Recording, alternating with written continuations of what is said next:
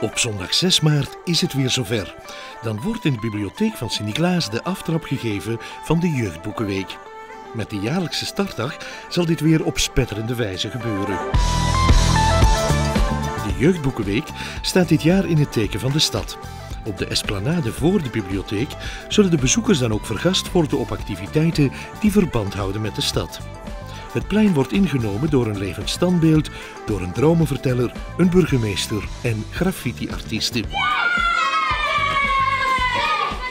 Je kan er heerlijke krekelkroketten proeven, aan de slag gaan met Lego-blokken om jouw stad van de toekomst vorm te geven, of je creatieve zelf verliezen in het Regenwormenhotel of de Zaadbommen. Kortom, opnieuw een groot feest voor groot en klein en de voorbode van een fantastische jeugdboekenweek vol spel en plezier, woorden en zinnen, kleine verhalen en dikke boeken. De Jeugdboekenweek geeft ook plaats aan alle scholen met een splinternieuw bibliotheekspel. Afsluiten doen we op zondag voormiddag 20 maart met de voorstelling van De Stadsboerin. Een voorstelling voor kinderen vol groenteliedjes en zotte instrumenten. Snel inschrijven is de boodschap.